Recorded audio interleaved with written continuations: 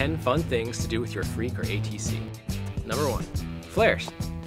I mean, flares are awesome. You're going through a bunch of different speed ranges and a bunch of different angles. When you punch it up, it climbs and it feels like you're just going to the moon. Solid backfly. As we saw in the how to backfly video, flying on our backs is really fun if we can maintain our speed and glide. You're not just flopping around like a fish on your back. You're carving it, you're turning it, you're still flying it. Corkscrews. You go from belly to straight down back to belly, spinning around your head.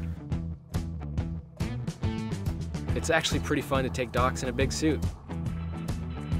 Taking a dock on a wingsuit teaches you to fly quiet, fly really, really precise in your slot, making micro adjustments.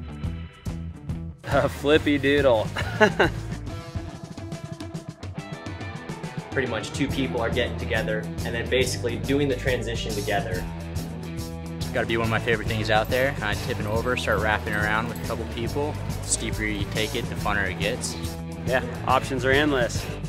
Real flips, front flips, back flips. The easiest time to throw one of these is at the top of a flare when you have very little airspeed and you're almost hitting Zero G, you just weightlessness up at the top and you can do whatever you want. Barrel rolls. Everybody kind of has their unique spin on them. Best way to do it is flying the whole time fast, you know?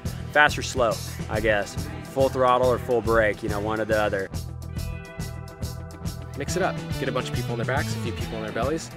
Be changing positions, it's rotating and moving and breathing instead of just everyone flocking on their bellies. There's just more action. Now that you have all these different dimensions, you know, whether you are on your belly or your back and everything, it's just one more level of creativity. Base jumping. Quick starts, good inflation, good pressure. Yeah, these suits are a lot of fun in the base environment. XRW has been picking up quite a bit these days.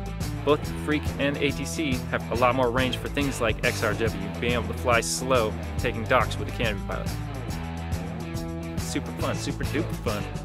Remember, never try a new trick above your friends.